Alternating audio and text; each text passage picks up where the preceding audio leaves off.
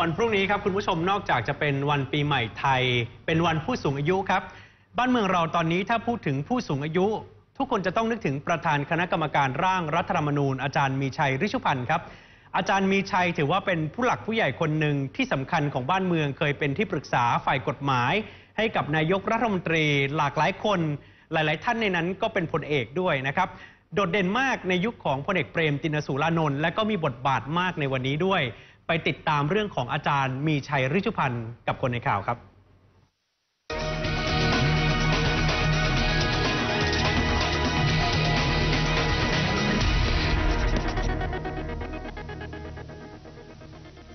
พรุ่งนี้ก็จะเป็นวันผู้สูงอายุแล้วนะคะคุณผู้ชม 13 เมษายนของทุกปีค่ะ นาทีนี้ผู้สูงอายุที่กำลังถูกพูดถึงก็คงหนีไม่พ้นผู้ชายคนนี้นะคะ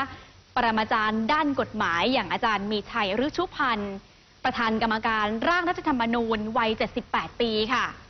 ช่วงนี้ต้องบอกว่าท่านกำลังรับภารกิจหนักนะคะเพราะต้องเดินสายชี้แจงหลักการสำคัญ สร้างความเข้าใจในร่างรัฐธรรมนูญฉบับล่าสุด ที่เพิ่งจะเขียนเสร็จเป็นที่เรียบร้อยแล้ว อาจารย์มีชัยประกาศชัดเจนว่า รัฐธรรมนูญฉบับนี้จะเป็นฉบับสุดท้ายที่อาจารย์เป็นคนเขียน เส้นทางการเข้ามารับราชการของอาจารย์มีชัยนะคะ ท่านไปเริ่มต้นที่สำนักงานคณะกรรมการกฤษฎีกา จนได้เลื่อนขั้นเป็นนักกฎหมายกฤษฎีกาผู้ทรงคุณวุฒินะคะโดยเหตุนี้ในี่ะค่ะทำให้อาจารย์ได้รับความไว้วางใจจาก 5 รัฐบาล เชิญไปเป็นที่ปรึกษาด้านกฎหมาย นอกจากนี้ อาจารย์ก็ยังได้รับความไว้วางใจให้ไปเป็นที่ปรึกษา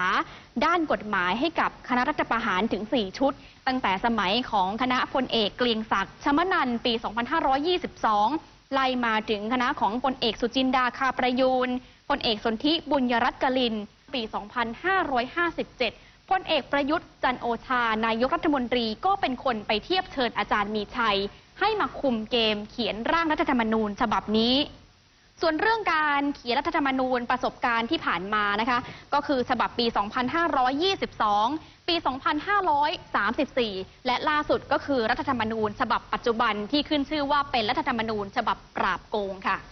ก็เลยทำให้หน้าตาของร่างรัฐธรรมนูญ ฉบับที่ออกมาล่าสุดนั้น ยึดความคิดความเห็นของตัวเองเป็นหลัก แล้วก็ไม่ค่อยจะถูกอกถูกใจกองทัพทักเท่าไหร่นะคะ อาจารย์พรเพชรวิชิตชลชัย ประธานสภานิติบัญญัติที่เป็นลูกศิษย์ของอาจารย์มีชัยเอง